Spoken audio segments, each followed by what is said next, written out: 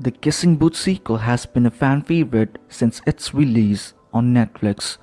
After the successful sequel of The Kissing Booth 2, which was released last year, the third and final film of Kissing Booth 3 will release this summer.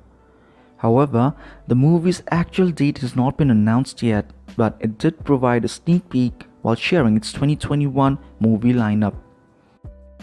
Netflix confirmed the final Kissing Booth movie last shortly after the second film franchise, while the first flake premiered in 2018. In the movie, fans will see Ellie offering a hug to her best friend Lee. Also, Ellie has some fun with the boyfriend Noah in the sun. Ellie and Noah have some sweet moments together.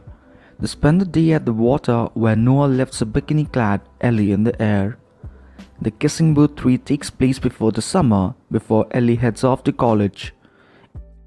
In the movie, she grapples with deciding if she should follow Noah to Harvard or Lee to Berkeley. She is secretly agonizing over her college decision in the earlier teaser while trying to have fun with Noah at the pool. Also, her best friend Lee and his girlfriend Rachel finally look loved up in the new teaser. The on-screen couple previously dated in real life. They met in 2017 while working in the first movie.